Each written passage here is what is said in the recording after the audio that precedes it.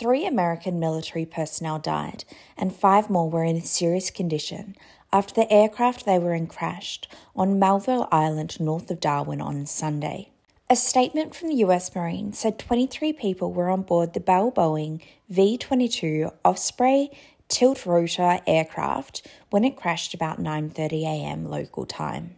The statement said that recovery efforts were ongoing, adding that the cause of the crash was under investigation.